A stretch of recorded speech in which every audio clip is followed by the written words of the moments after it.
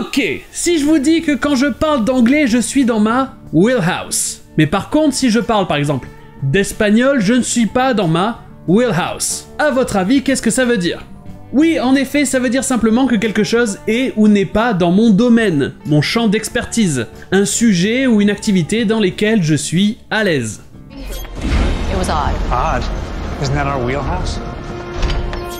Mais qu'est-ce que c'est exactement a wheelhouse? Eh bien la partie house, c'est simple, c'est une maison. Et le mot wheel, c'est une roue.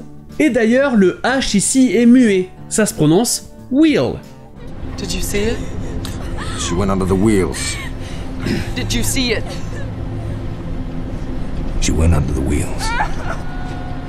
Mais le truc bizarre, c'est qu'en anglais, wheel, c'est plusieurs choses qui ont ce principe de roue, dont un volant de voiture. Donc sur une voiture, vous aurez normalement four wheels, quatre roues, mais vous aurez aussi one wheel, un volant pour conduire.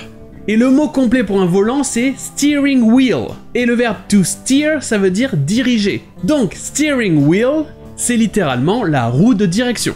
C'est pour ça que vous trouverez par exemple l'expression to be asleep at the wheel, c'est-à-dire dormir au volant. Ce qui veut dire, même en dehors d'une voiture, ne pas être attentif.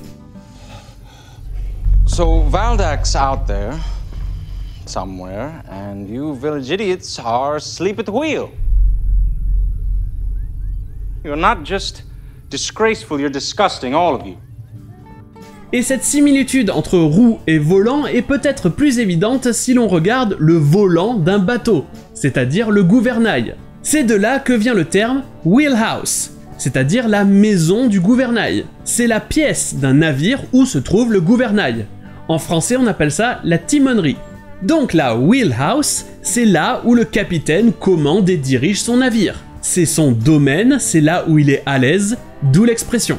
Et elle a commencé dans le milieu des bateaux, mais l'expression a été popularisée par le baseball. La wheelhouse, c'est la zone devant le batteur où il a le plus de chances de bien frapper la balle et donc de faire un home run.